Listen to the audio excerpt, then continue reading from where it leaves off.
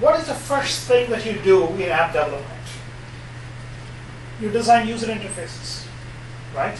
After that, you worry about the logic behind and so on. But usually, when you start out designing your app, the first thing that you're supposed to do is start up Eclipse and then start hacking code on the screen? Absolutely not. The first thing that you need to do when you start developing an app is to take out a sheet of paper and a pen or a pencil and start drawing pictures of what your screens will look like and how you will transition from one screen to the other screen. The storyboarding of your app. That's the first point to start. And then from that, each one of those screens that you draw will suggest an activity that you're supposed to design in, in your application.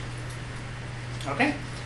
And after that, it's a question of implementing each one of those activities. And then that will also suggest to you the background logic that needs to be implemented in order to fill the information on the screen.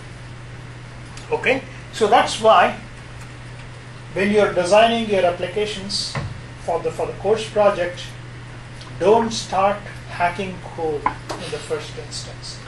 Take a piece of paper and a pen or pencil and then draw pictures on the on, uh, on, on the pen pencil. Plan your app first. That's why the first stage of your submission for me is the initial app idea, which will be due at the end of this month. And then the second stage will be the proposal. In the proposal, I expect you to draw these user interfaces that you're going to use in your app and show me how you transition from one to the other and what is the reason why you design those user interfaces and so on. I, I need you to explain that first. Okay, so that will be the at the proposal stage. I want to explain to you how you're going to realize your app, and then I will see the completed app at the final product stage. Okay, um, I do realize that you need to submit um, team information I will activate the team registration system soon and then I will send you an email as soon as the system is ready and then you need to submit. You can start forming your teams right away, teams of two students. You can start forming your teams right away and then when the system is ready, I will ask you to submit the information. Okay? Uh, I was waiting until the add drop period is over before I initialize the system. So it will be done over this uh, next two days. Okay, going back to user interfaces. This section, again, whenever I cover any part, I will also give you a pointer to where I draw this information from on the Android website. Similarly, uh, in the book also there will be locations where you might find uh, things there uh, that you can read up. In case of Android, and for that matter, even in iOS also, the views, the screen views are all built up using things called views and view groups. This is a term that both, both of them use. What is a view? A view is a base class for widgets, things like text boxes, edit text boxes, buttons, and things like that that you put on the screen, images and so on that you put on the screen. All these constitute a simple view. And typically a screen is composed of a bunch of view group, a group of views that are somehow interrelated to each other in order to create a screen. When you looked at the first example in the lab last week, you saw that there was this linear layout, and inside the linear layout, there was another linear layout, and then I had an image there, then I had a bunch of text, text uh, uh, text views there, and then I had another image there on the screen, and so on. So if you draw it out like a uh, like a tree, this is what your view will look like. What we call as the view hierarchy. We have individual views, which are then grouped together using a view group, and view groups with other views at the next level could be grouped together under another view group, and you can actually have a much uh, larger level of hierarchy that you want. So whenever you design a screen, you need to plan out this structure first, saying this is my topmost layout, relative layout, and inside my relative layout, I'm going to use a linear layout, and then I will use a linear layout with vertical positioning of things. I might use a frame layout, and inside my frame layout, I put things onto the screen where I want to position things and so on.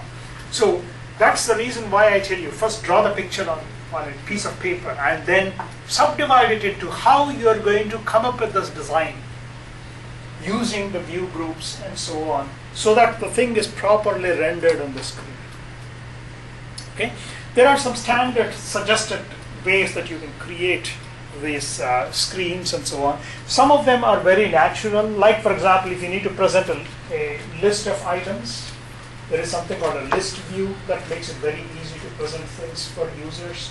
There are uh, there is something called gallery view, which allows you to present a bunch of thumbnails on the screen, and so on. So uh, Android does provide several different ways of designing user interfaces and several different uh, uh, methods of designing the user interface.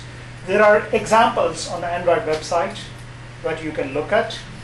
Uh, for the specific examples that we use in the lab, I will use only a subset of those different kinds of views that you can create, whatever is necessary for implementing my specific application.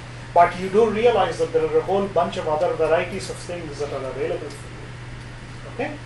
And there are two ways of creating user interfaces. One, using the graphical layout on the screen, which is not as flexible as using the XML layout. Um, I would, I would uh, uh, suggest to you also to look at the XML version of the layouts on the screen. Don't be afraid of the XML layout. It's not that complicated. You can always design things in the XML layout and view it on the graphical layout. Some things that you design in the XML layout may not render properly in the graphical layout on Eclipse. In that case, run the app and see what it looks like on the screen.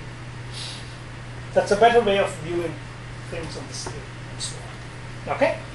So, again, things like, for example, list view, you may not be able to see it clearly on the screen.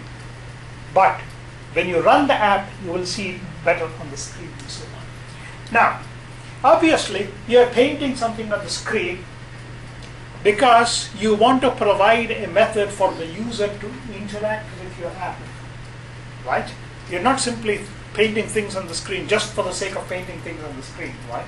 Of course, if you're just simply flipping through photos, then yes, it makes sense to you know, flip from one photo to another photo and so on. But even a photo flipping application will have some way for the user to interact. Like for example, when the user is looking at a photo and then wants to pause on the photo and look at it, maybe the user touches the screen with the thumb. This is a natural way that the user interacts.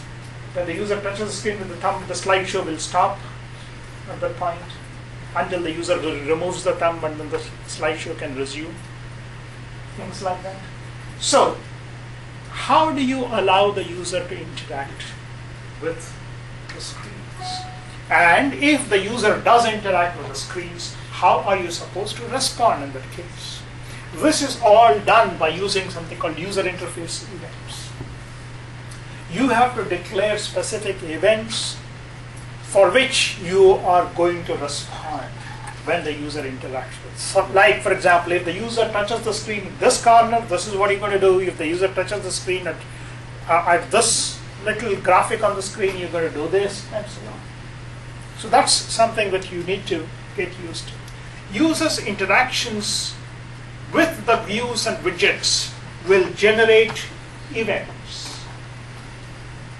This is where I will explain something called event-driven programming, which is a slightly different way of writing applications compared to what you're used to.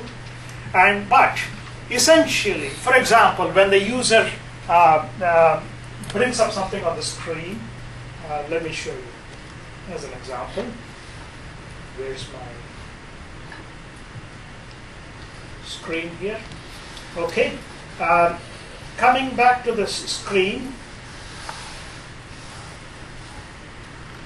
and the specific app that we are going to make use of, uh, the example that you're going to see tomorrow.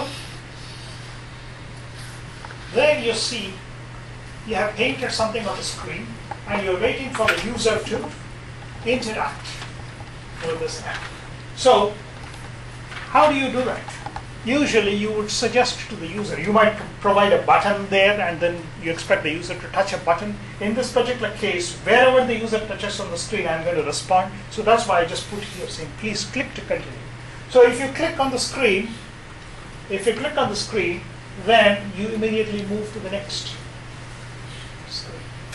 Now here, depending on where you touch on the screen, the interaction will be different. So for example, if I touch at this point, I would be outputting things like contact information. If I touch on this point, for example, I will be outputting the timetable of the course. If I touch on this point, I'll output information about the course, and so on.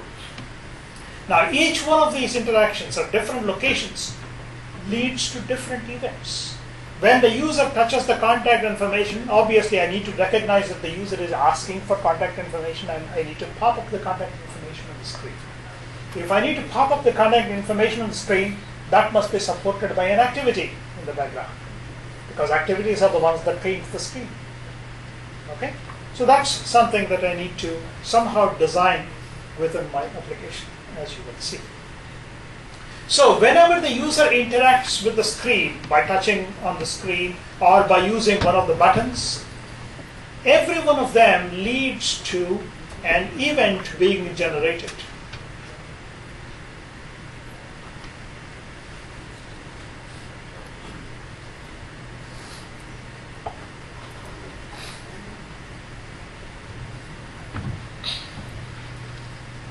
So every one of them leads to an event being generated.